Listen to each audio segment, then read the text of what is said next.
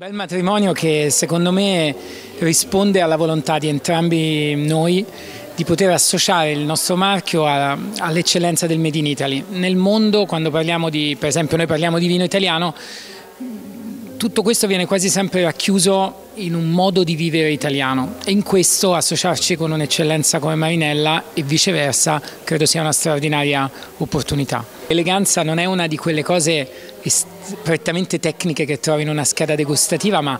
è forse uno degli elementi insieme alla bevibilità sul quale noi lavoriamo di più e la stessa cosa fa Marinella da, tanti, da tanto tempo ed è soprattutto la scelta della materia prima che può dare un grande vino elegante o una cravatta di, di grande eleganza eh, parimenti.